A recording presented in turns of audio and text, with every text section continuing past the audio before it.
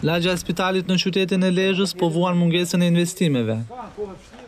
Kjo rrugë gjithmonë e kena pas problem, me thanë drejtën.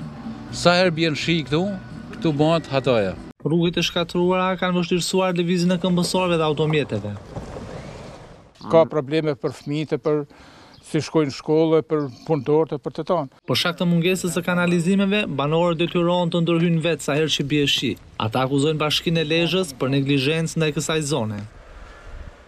Jena pensionistë e invalidë, edhe këtu vjen ambulanca me na marrë, vjen zjarrfiksja, edhe nuk ka ka futet na gjitha punimet i kena bo me krah edhe me lekë tona deri tash. Bashkia deri tash nuk ka ba asnjë gja për këtë rrugë. Ju lutem, ju lutem pashtë madhin Zot me na ndreq qët rrugë, sa kryesorja ma zi se m'fshat. Se m'fshat po këtu në këtu kena rrasa pa fund.